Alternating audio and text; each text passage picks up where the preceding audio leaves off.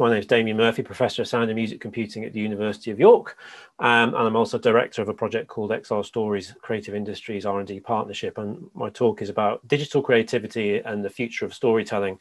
And it's an opportunity to reflect on some of the work that I've done at the university in collaboration with many colleagues around creativity, digital creativity, and that's led to the, the XR Stories project and how this is uh, changing or shifting um, some of the research that we do and the culture of research um, at our institution and um, with for our colleagues, we hope.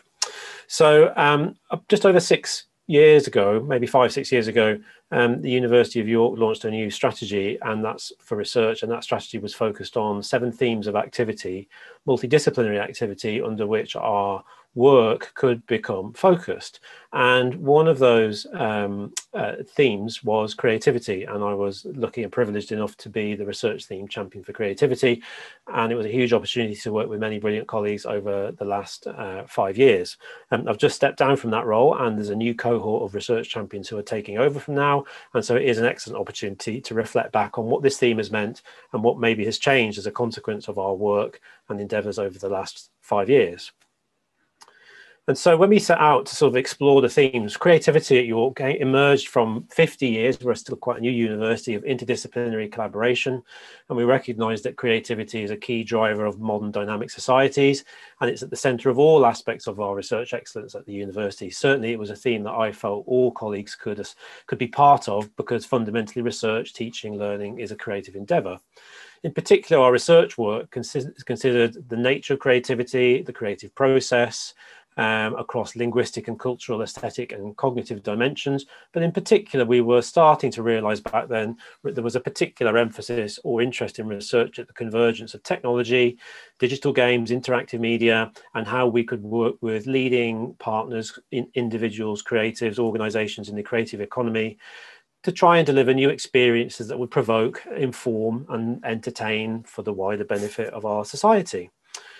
And again, this work was based on perhaps 30 years of activity in my own discipline, which is sound and music computing and music technology. And this was based on a collaboration between our music department and our engineering department, based on a common language and a common interest in research, practice, collaboration between the two disciplines and how computers ultimately and engineering methods could be used to meet the needs of composers over many aspects of that 30 year period. And so that project, music technology, is one of the key areas that has sort of emerged from, from York over that particular period of time. Uh, and indeed, it's helped, it's, it's, it's given me um, my position at the university over that period of time as well.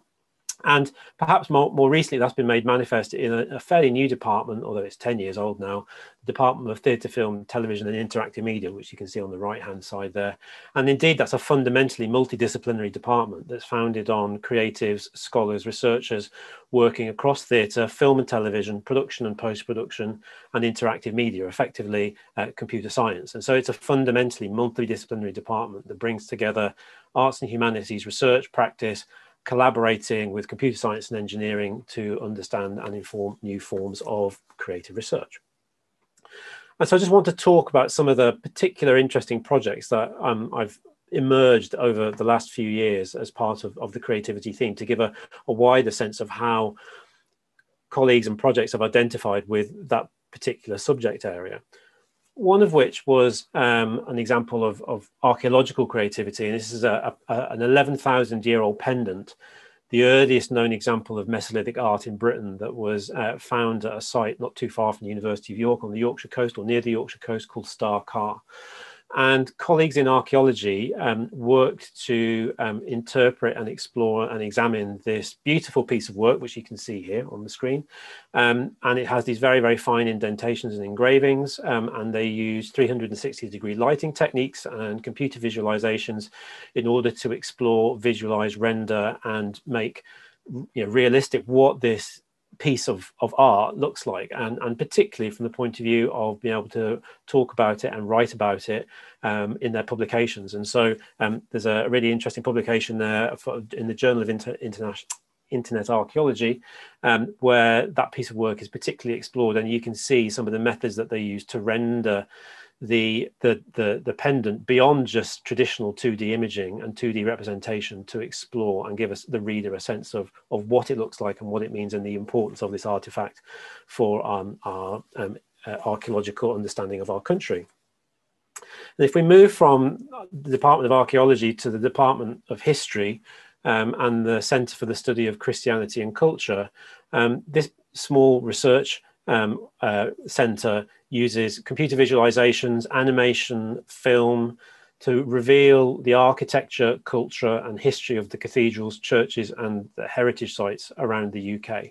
And that's about interpretation and it's about communication and understanding, but it's also about what the methods and techniques used in deploying those visualizations ultimately reveal for the, the core researchers working in the history and the architecture and the archaeology of these sites, what they reveal about those sites, which is new and couldn't have been explored through um, uh, without using these methods as part of, of their practice. And colleagues in archaeology are also using computer visualizations. And this is a, a, a project called the Four Mountains Test. And this is a, a means of simple and non-invasive um, detection of early onset Alzheimer's.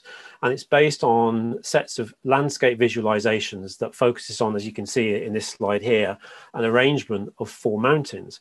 And the test consists of giving the, the subject a, a, set of four images in series where three of those images are the same mountain range but rendered using different lighting conditions to reflect different time of day different seasons of the year different viewer perspectives on that particular scene. And one and the fourth picture then is a slightly different changed version of it but ultimately it's not the same landscape.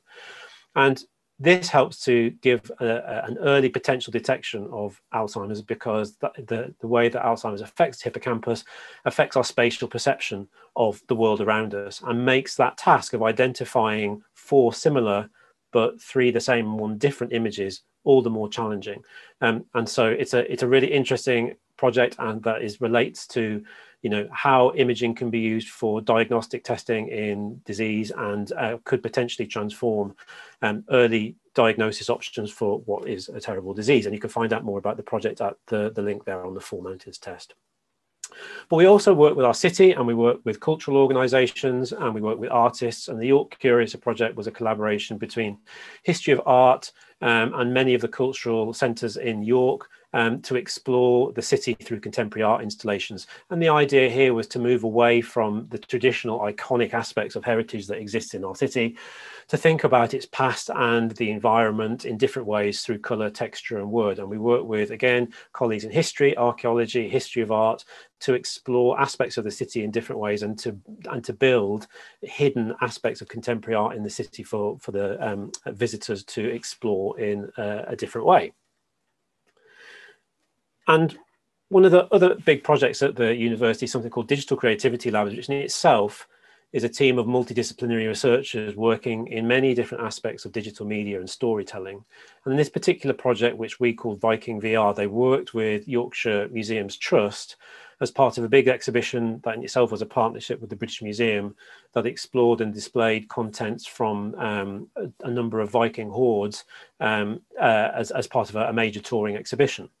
And there was a particular challenge set to the colleagues in DC Labs, Digital Creativity Labs, as to how um, these artifacts, these aspects in the collection could be translated into experiences and to be and to use virtual reality to render those experiences for visitors as part of the exp- uh, as part of the, ex- uh, the exhibition. And so the project brought together again archaeologists animators sound designers user experience researchers scholars of literature to help bring to life the scenes related to these collections and the great Viking army when they were camped at Torksey in Lincolnshire, Lincolnshire around 872 AD.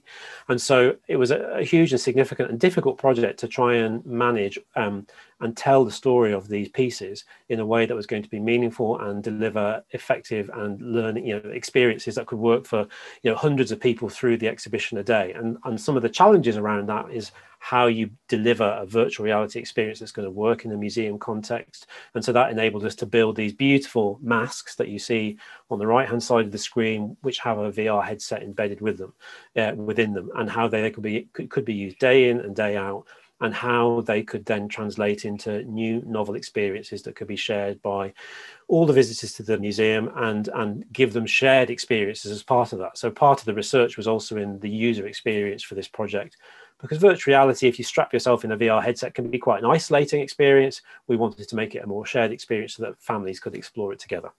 So that was a very interesting and rewarding project to work on.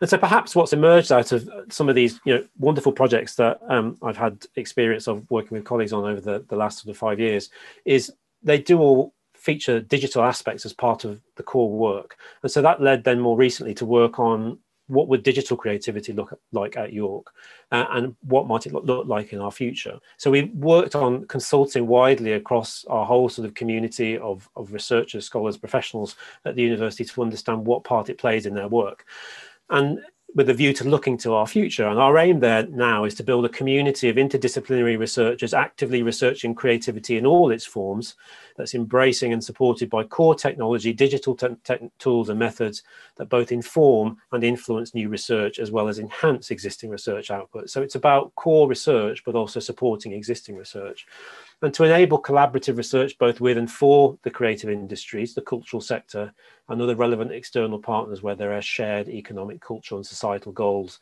for the widest benefit and public good. Because many of the projects that I've cited so far are all about collaboration and working with external partners. And so the basis of this strategy then was to was four principles that we would like to work on in the future the, the key importance of interdisciplinarity in our work, which was one of the original sort of um, aims of, of the original research themes. We want to invest in skills, training and support services to enable that change for as wide a part of the community as possible.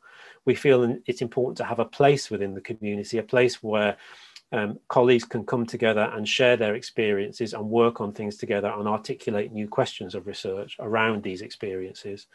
But of course, there's also challenges around what we mean by a place within the university now. And we've all been learning to work in different ways over the last 12 months because of COVID. And of particular relevance to that as well is partnership as part of that partnership outside of our university and other universities and how the work that we do can be um, part of the community renewal we would like to see post COVID. So that gives a sense of, of where we've come from and some of the work that's ongoing at our institution around creativity and how that's informed then our strategy for di digital creativity and maybe we'll come back to some of these points for the future as part of the Q&A. But I want to talk a little bit now in the last sort of five minutes or so of the presentation about a particular project that's emerged out of this time, which is the XR Stories project. Um, and this is one particular project that has a significant focus on digital creativity and the future of storytelling.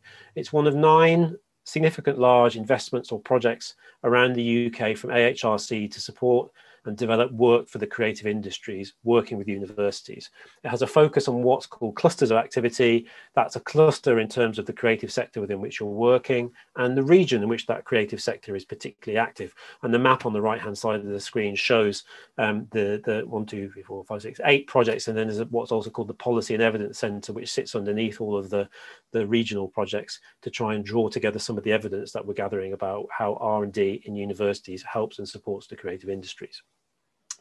And XR Stories is focused on Yorkshire and Humber uh, and their screen industries cluster, which is a significant um, area and region of activity supporting the film, television, and games industries across uh, a diverse region of the country that we identify as Yorkshire, but actually consists of many different counties and regions.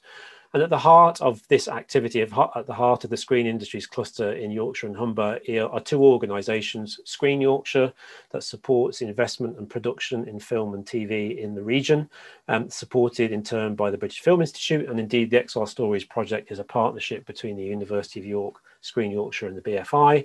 And you see there some of the, the brilliant content that has emerged recently from Yorkshire and Humber production companies and locations in both film and television.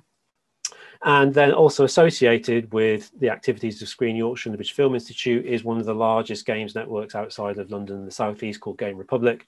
And again, there's a huge community of small to medium to large companies working in the games industry um, around various sort of cities and regions of uh, Yorkshire and Humber.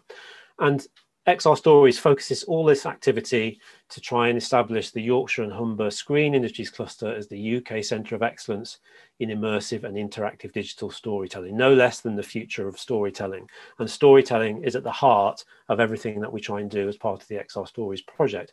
So what does the future of storytelling look like? Well, from my perspective, I can go back to sort of, you know, my sort of idea of what the future of storytelling was like when I was growing up.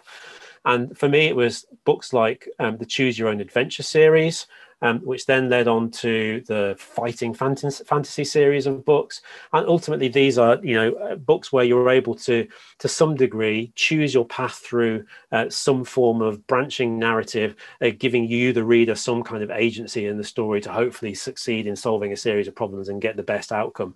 Of course, I was never quite satisfied with that, and I would always be reading those books with a finger in each page. I think that was trying to look at the best possible option to get me through to the end of the story. And of course, nowadays that's that, that kind of branching narrative based storytelling has been you know supported and replaced by technology so for XR Stories, the project of, and the future of storytelling is about research in that particular area, and colleagues working in industry in that particular area focused on two core areas, which is virtual reality and related technologies, and then interactive storytelling. So I've already mentioned some of the work we've done, for instance, with Viking VR in terms of what VR technology might be or what it might offer. In terms of interactive media, that's still quite new outside of the games industry, but probably the most famous example of this in television in recent years was Bandersnatch as part of the Black Mirror series, where you could again choose your own adventure or choose your own path through the story by making decisions at particular points. And we're go- the XR Stories project is fundamentally for our companies in the region to support them in their work and endeavours in the future of storytelling through the research and development work that we're doing in Yorkshire and Humber universities. So, as an example of some projects that we've supported over the last two years, so XR Stories is its midway point. We've been two and a half years in, and we've got another two and a half years to go. One project is led by Opera North, working with the University of York, and they had a production just a year ago, actually, um, of Benjamin Britten's Turn of the Screw. And they were interested and are fundamentally interested in expanding their audiences to bring in new and younger audiences into this old and traditional form of, of storytelling. And so rather than doing the usual approach for a trailer for their production, which would be a filmed version of the production on stage, they worked with a number of companies and our researchers at the University of York to build this beautiful interactive, immersive 360 degree trailer that allowed you to explore particular scenes from the opera and listen to the performers render that out in lots of different ways as of January last year, when it went live, it's it's had nearly hundred thousand views, and most interestingly, from those views, two thousand people or more than two thousand people have booked tickets. So the trailer in itself is about advertising, but it's also a way of tracking data through to see who watches the trailer and then goes on to buy a ticket, and can we understand the demographic of that audience to understand what the impact of such a shift in how we market ourselves is to the audiences that we get. And so we did some work focus grouping this, and of a group of young people, 60% agreed strongly um, that the trailer made them more interested in seeing live opera, and um, and only 4% said that the trailer had not changed their idea of what that art form was about. And for Opera North, it's been hugely important as well. They've seen it as a completely new way to think about reaching new audiences. It's led to a shift in their marketing outlook um, and, and to involve participatory techniques again to reach out to audiences. And that's also resulted in the doubling of their investment in digital engagement, particularly post COVID, when, of course, it's so hard for the live performance industry to, again, make sure they're relevant and reaching audiences and continuing to do their work at a time when audiences are not possible uh, traditional audiences, that is. The Rising Tide of the Humber is a project between the University of Hull and a small company called Beta Jester, and they've worked together to develop an immersive VR story world to visualize how a historic flood affected the city in the 17th century. It's based around the poet Andrew Marvell, uh, who wrote about the event 400 years ago, and they've developed a 360 degree VR video as an immersive experience and transports the user back to the time of the flood. Beta Jester developed the model in collaboration with maps, archival evidence, archaeological evidence, and worked with the university's Energy and Environment Institute to understand what the flooding effect would have been at that particular time in history. And the idea, again, is to allow users to experience Hull as it would have been in the 17th century and discover what caused the flood in the eyes and the words of uh, the poet Andrew Marvell.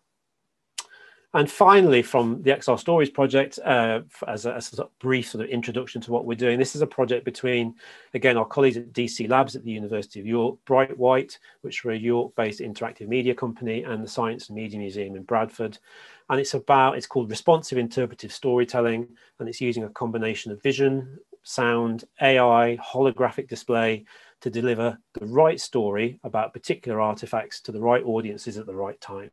And in particular, here the object is the BBC Marconi AXBT microphone, which probably has a limited audience of interest in its own right. But of course, when one learns about the role that that artifact has played over the life and development of the BBC's broadcast to the to the country and to the world, the stories it has literally heard, suddenly it becomes a very very interesting artifact. In, in, aside from its in terms of its uh, abilities as a microphone. And from that, then uh, a whole possible world of stories and interpretation become possible, and the audience is for those stories. And the final thing that I want to mention is um, uh, a project that emerged a little bit out of the, the, the, creativity theme from colleagues at our library and IT services at the University of York, which is called Digital Creativity Week. And this was about engaging with students across our organization to um, engage with the potential for what digital creative tools mean for them, and also engaging with the collections in our library and archives, and also with the city.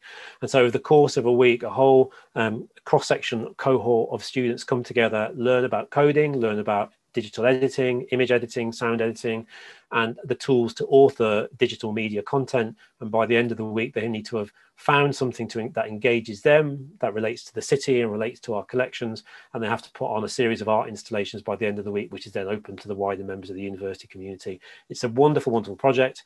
Um, it's it's been a very satisfying thing for me to be personally involved with and to see some of the work that's emerged from that. And everybody's had a lot of fun along the way. So, uh, thank you very much for listening. That gives a sense and a flavour of some of the work that we're doing at the University of York and have done, and what XR Stories might mean in terms of the future of storytelling. And very happy now to have to um, listen to questions and have a bit of a discussion. Thank you. Thank you, Damian. That was that was really fascinating, and, and just some really lovely examples of projects bringing digital creativity into practice. Um, there's some questions starting to come through now. If anybody has any questions, if you could um, note them in the in the Q and A function, um, I'll, I'll, kick off with a question if if I might. Um, so, how might we grow um, a wider pool of of digital creatives who who are able to embrace some of these opportunities?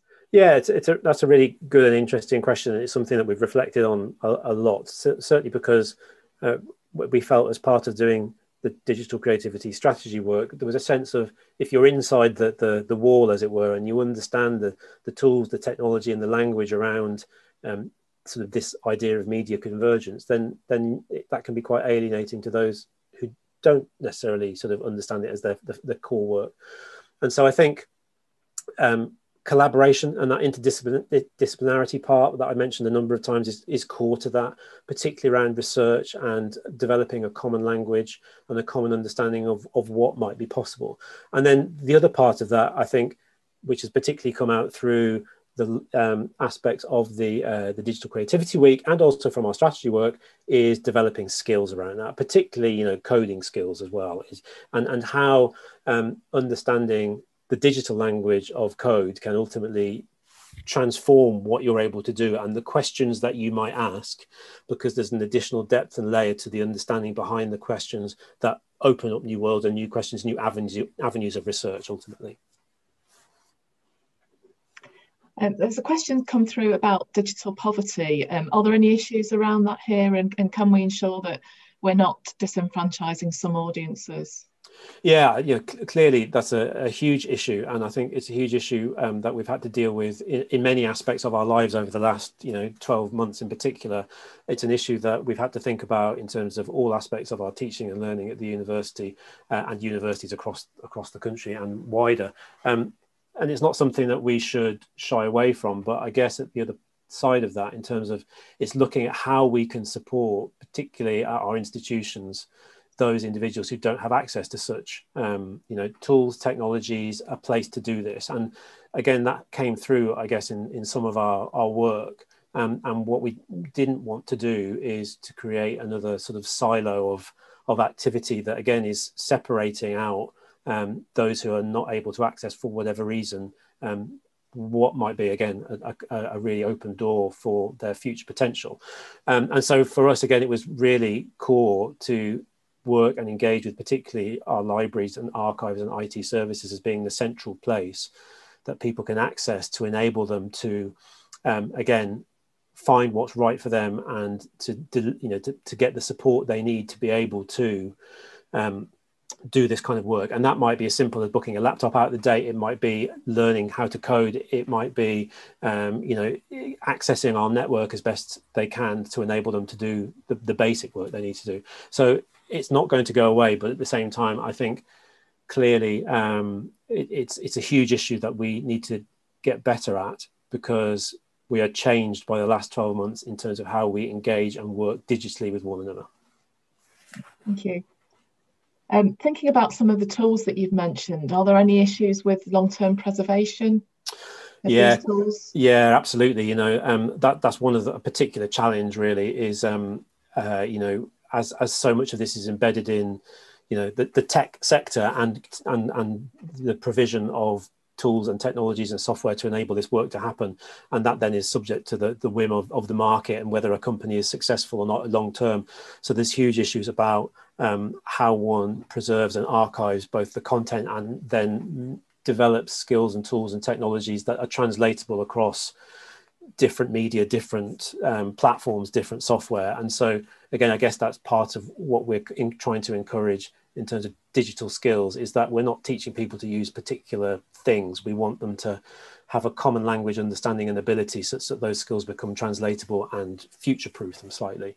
Um, so yeah, and, and there's also big questions in terms of how we then preserve and archive, particularly all these new experiences that are being developed for very bespoke and not very common sort of virtual reality and similar platforms um, and how then we you know think about keeping them for future generations and translate them into the, the next sort of media platforms that come along. Lots of issues around that certainly. Yeah. Thank you. Um, there's a question from kevin grist that sparked echo. Um, immersive storytelling where community groups and non-technical experts have had a major input? And the question really is how accessible uh, might this mm. become in the future um, yeah, uh, let's see if I can think of a particular example. Um, uh, I suppose at the moment in the, in the projects that we're working on in relation to dealing with community, you know, we're sort of working with community groups to understand their stories and using you know those who are expert in the media to translate those stories into experiences um, again, there are issues about how that technology then, then translates into those communities. And so we get back to sort of, you know, an issue, an access issue and how we enable others to explore that. But I think it's also about translating the skills down to the individuals in the community so that they can um, don't need gatekeepers to the, the platforms and the technologies to tell their own stories. I think that's that's really really important, and um, uh, that will only um, uh, you know develop as as as the technology and the me you know it's still a very new medium. It's interesting that um, for instance there aren't many examples of interactive film and television. The bandersnatch one was a great big sort of high platform high profile experiment but it hasn't necessarily spawned lots of copycats. Um, and so there's still lots of risk associated with these new media platforms and these new storytelling experiences and what they might be. So there's a long way to go yet, I think, before they become commonplace. And so there's roles for us in the privileged positions in our, you know, institutions to bring as many people along with that story and to tell their stories as we can.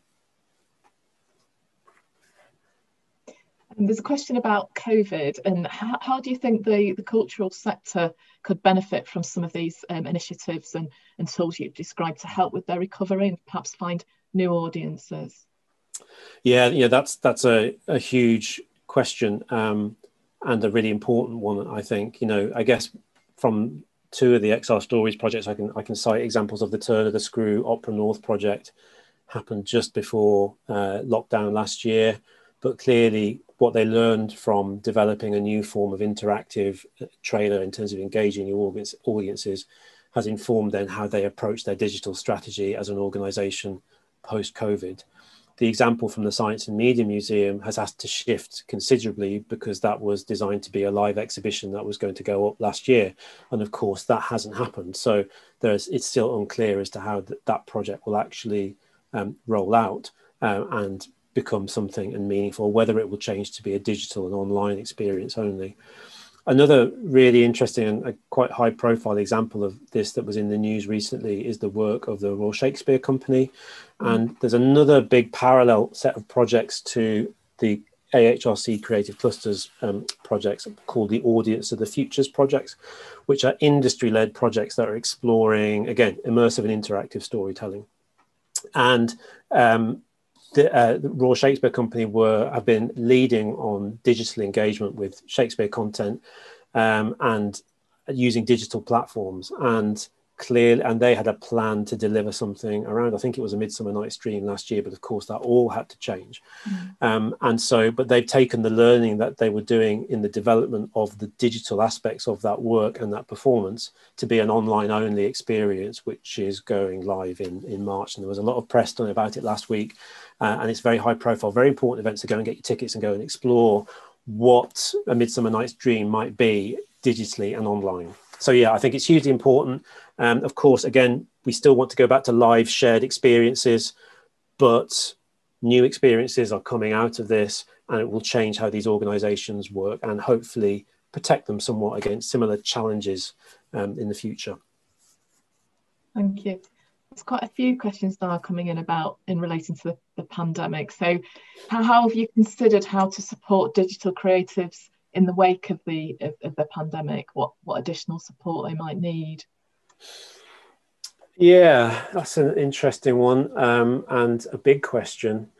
Um, I don't, you know, I think the work that we've done in XR Stories has been okay. So an example here is, is the work that we've done in XR Stories, and most of the companies that we've been working with um, so far are technology focused, um, probably from more of the games industry than film and TV and and that's be- and they've been able to adapt quite well to the the, the restrictions of, of lockdown and, and, home working in in a way that film and TV production and again has been written about quite a lot in the press in terms of film and TV production has, has found more challenging.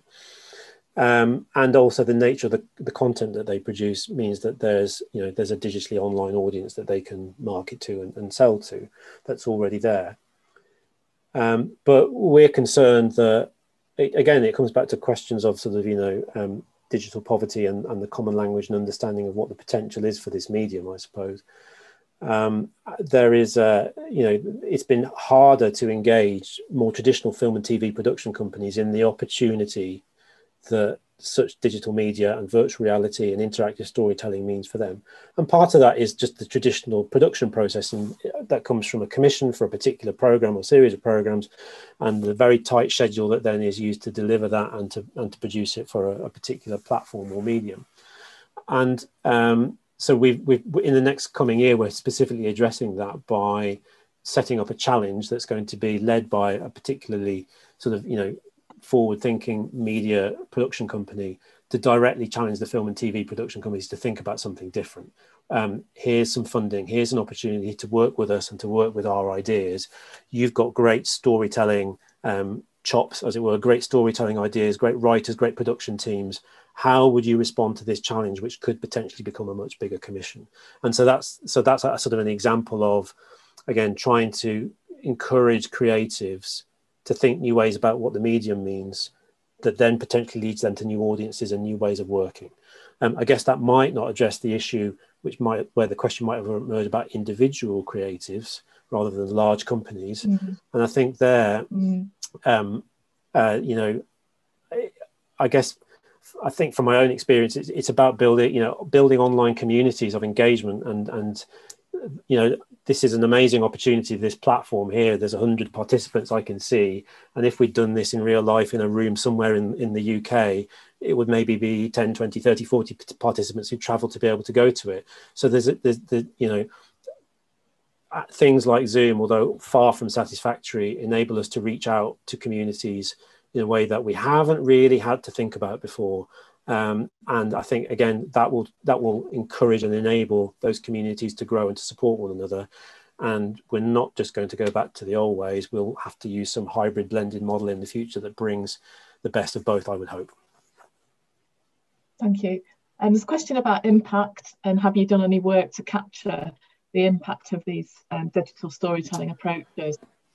Yeah, we, we, we have done some. Um, so a couple of examples there. Uh, the Viking VR project. So part of that was we did a big audience engagement piece to explore people's perceptions of the experiences, to explore whether people had engaged with virtual reality technology at all, whether this is the, you know because it was you know primarily aimed at families, um, and so this was from I think we saw about 60,000 people go through the exhibition. I can't quite remember the numbers, but for the majority of people who had the experience, it was their first time of doing anything in VR. And therefore, we could get some really valuable feedback on what that experience was like for them and whether they'd return to something like this. And also, it, um, although I didn't mention it then, it then did inform the next exhibition that was going into the museum, Yorkshire Museum, and that had a VR aspect as well, because clearly it worked really well at engaging families and, and particular audiences. And then the other thing, of course, is the um, is the turn of the screw trailer, which which we did do some data gathering around, um, and particularly, you know, their work. You know, they were quite sort of clever about it, and so it's not just a novel means of engagement. Let's see how many people buy tickets on the back of watching this trailer, and will that inform what we do in the future? And that's a really good example of that. And on the XR Stories projects, it's probably a little bit too early to tell now. Most of the first set of projects are just finishing. So we're doing the work now to go back to them and do the evaluation and monitoring work that we need to do to understand what the impact has been from those projects, both for the communities they've worked with, uh, for the organizations, for the businesses, and for the academics that, that have been involved with them as well.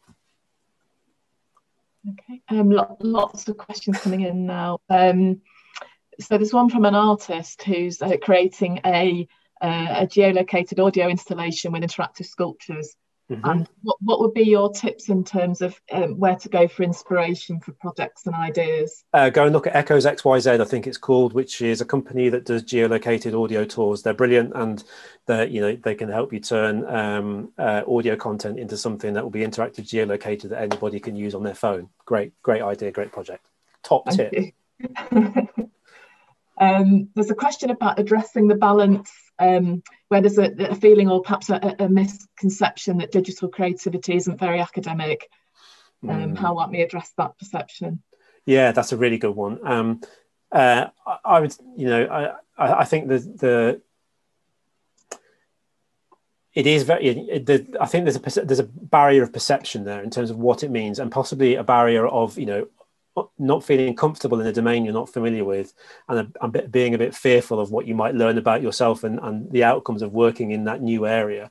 Um, you know I, I, can give an example from my own practice which i haven't sort of mentioned previously which is a, a project with a colleague in the department of history and he and the work that we did um, around uh, um, uh, St Stephen's Chapel, which is part of the Palace of Westminster, which was the original seat of the House of Commons, which burned down around 1840.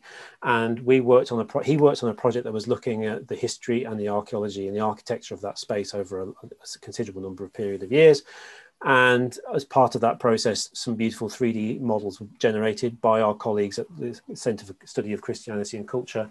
But from that, we were able to ask questions about the nature of how parliamentarians sat and engaged in that historic House of Commons chamber. And from that, then we started to realize there were questions about um, how women engaged with political debate at that time when they were otherwise excluded from particularly the public gallery in the House of Commons. And there was a, a study or project that emerged from that about called Listening to the Commons, which was all about um, particularly how women used to gather in the ventilator space around, um, uh, uh, again, um, and listened in to debate and what their experience of listening to those debates were. And so my colleague John is a historian, Tudor historian, and suddenly he's working in areas of visualization, auralization, sound, acoustics that he never would have thought of before. And suddenly I'm also, as someone who's working, you know, an expert in sound, I'm working in the politics of women engaging with, you know, um, the, the, political debate at that time and aspects of and, and, and, women's suffrage and the last hundred years of you know of, of women in politics in the UK and all of this went into the Voice and Vote exhibition in Parliament uh, a couple of years ago, which was a, a, tremendous privilege again to work as part of. So but there was you know that that relationship that research relationship between myself and my colleague john and the colleagues who worked on that project was all about communication understanding shifting perspectives and a, a lot of talking before we could understand what we could each bring to something new. So fundamentally it comes back to the idea of collaboration interdisciplinarity and communication and to establishing a common ground. And from that then new and really exciting opportunities can grow. Thank you. Um, a question about libraries and, and what libraries might do to transform their offer um, in, support of digital creativity. You talked a little bit there about about the uh, the York example and and the great digital um, creativity, creativity, week. week. Yeah. yeah. Is there anything else you think we can do? Well, I think one of the, the one of the one of the interesting things that came out of our digital creative strategy work was where would we want this work to sort of who would we want to own it and and um, if we want to really you know again i might hate to use the term develop some kind of leveling up agenda for our institution to, to bring as many colleagues along as possible with the opportunity that we see a, a sort of a certain number of colleagues have benefited from so far. And so we felt that the library was actually key to that. And and, and key to the strategy was to to put in place a project manager and a project manager who would be responsible for building the links between these different communities, both within and out with the university, and also um, a, a, research technician or a research engineer who had expertise and a background in the social sciences and the arts and humanities, but had the technology and digital skills to be able to translate the ideas that colleagues might come from those disciplines into something where they could again interface with aspects of the collections or the archives or the technology to help those ideas along and to encourage those colleagues to sort of benefit from those findings as well. And so for us it was you know it was central that um the, well the library is a central part of our university a core pillar of what we offer. And to put those individuals in the library means they become for the whole community. So it was fundamental and it is fundamental to our thinking around um, how we uh, you know have a shift at our own in our own home as it were. Thank you how can we ensure that storytelling stays at the heart of the work of this work that engenders engagement rather than a focus on on doing cool things with tech? Yeah that's a really good question. Um you know storytelling is is a, is at the heart of everything really. And you know um I've told a story about the work we're doing about storytelling. Ultimately, there are many more different stories to be told about that work and and as human beings telling stories is is is fundamental to what we do and to how we communicate make sense of the world explore the world and communicate the world to you know um, uh, the people around us.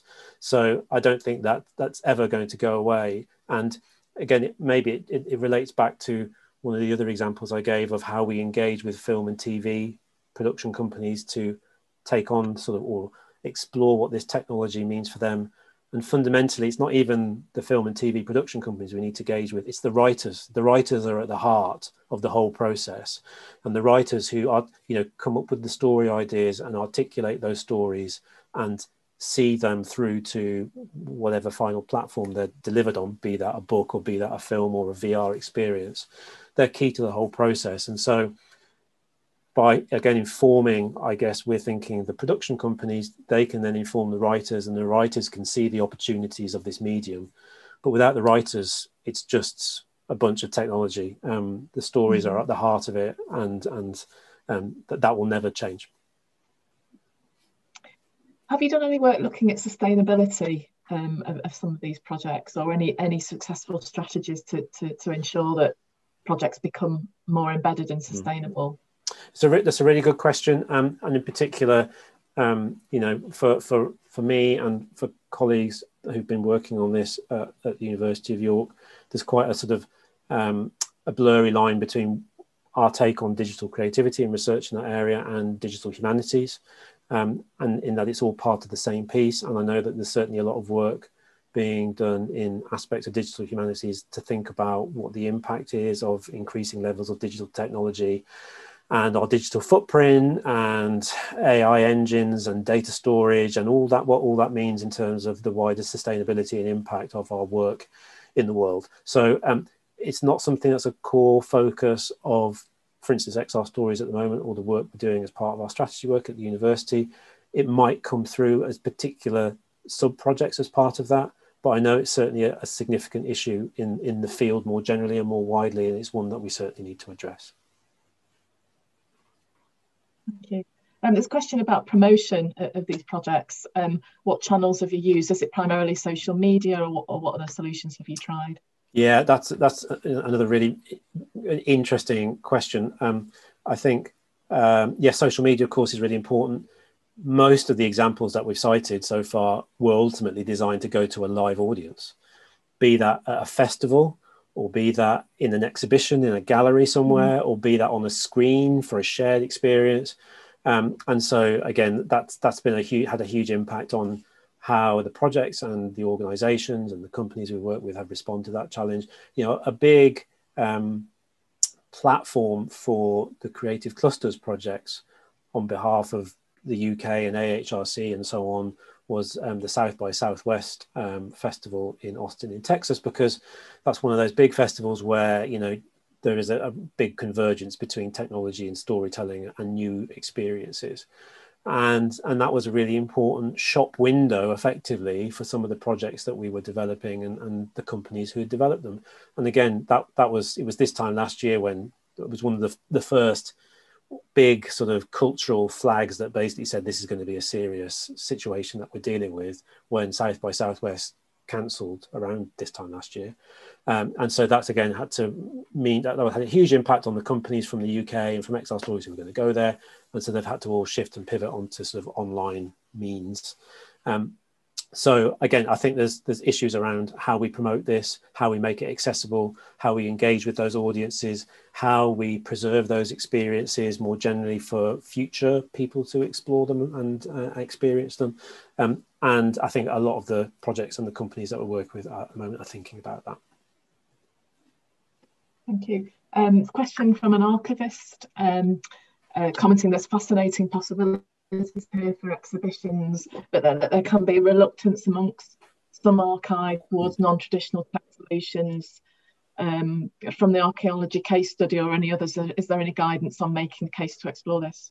Yeah, that, that was again a really good and relevant question. The Viking VR project was a really good case in point there, and that was a huge risk for the Yorkshire Museum to take on on what was going to be a really high, high profile exhibition for them um, and to give a part of that exhibition floor space away to a digital medium that had never been tried in the context of either that kind of exhibition or um, the Yorkshire Museum before. So it was a huge risk, and uh, but it was it was a risk worth taking. And again, it was down to a long period of collaboration and communication between the Digital Creativity Labs team at the university and the team at the Yorkshire Museum, particularly their digital officer, who again they th- that those two individuals understood what the potential was here, and it was a case then of, of really sort of taking a long-term planning view on it and really sort of you know risk checking it at every stage of the process and making sure it was going to work and it was going to deliver and it was going to work day in and day out and it wouldn't stop people going through the exhibition because there was a huge bottleneck, for instance. And um, the project almost fell down at the very, very last minute because the paint on the, the masks that we'd created was not antibacterial. And we had to try and source antibacterial paint that was going to be health and safety compliant and put up with 60,000 people over three months going through and handling them. So even the smallest things, it almost all came down at the last minute. Thank you. From a writer, I love the spread of questions here. So, a question from a writer Are, are they at a major disadvantage because not many of them have coding skills?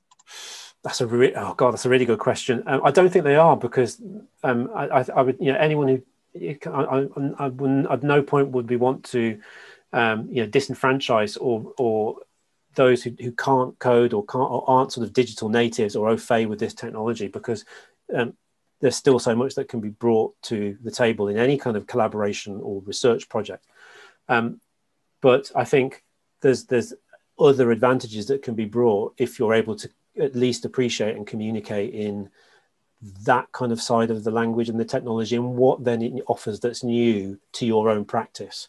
Um, and and so you know I think that's probably um, the, the best sort of way of thinking about it really it's not to replace and it's not to demean any, anything that an individual brings to again a particular collaboration or a project but it's what can be added to your skill set already and your practice and your experience that you would not have been able to have done before that opens up new individuals avenues for you as an individual so i would uh, yeah I, I don't think you're a, dis- a, writer is at a disadvantage but to learn and understand for instance what non-linear narrative might be and the con- and how that might be realized for different digital platforms would potentially be a really exciting thing to explore.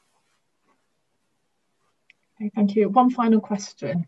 Um, what was Opera North's conversion rate with their traditional style trailers? Oh, that's a, oh, uh, that's that's a, a, data question I don't have to be fair. Um, but I don't think they tried it before. I don't. I really. I think the nature of this type of trailer was um, to to explore that opportunity, whereas previously it was a pretty sort of traditional example of let's shoot the production on film on stage make a short film of it cut it up for about a minute and make it available so people have got a sense of the excitement it's going to be like.